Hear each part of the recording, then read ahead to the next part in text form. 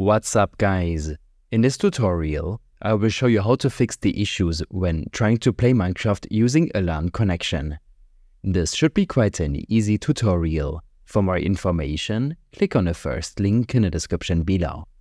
The LAN problem on Minecraft is usually caused by a Windows Defender firewall, other security app, network-related problems, or because other devices are using a different IP address and are unable to locate your Minecraft LAN world. First of all, it's suggested to allow Minecraft through your firewall. Search for Firewall to open up your Firewall and Network Protection System Settings window. From here, click Allow an app through Firewall.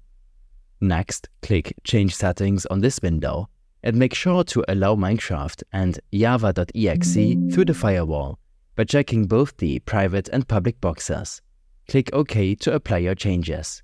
When this is done, make sure everyone who wants to join the Minecraft world is using the same Minecraft version. In your Minecraft launcher, navigate to the Installations tab. You have the option to create a new installation. I will simply name it LAN and select the version you'd like to play on.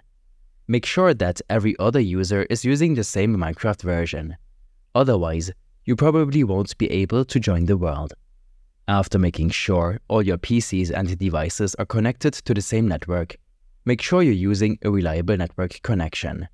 You should consider using an Ethernet cable and restart your router if you haven't done this in a while.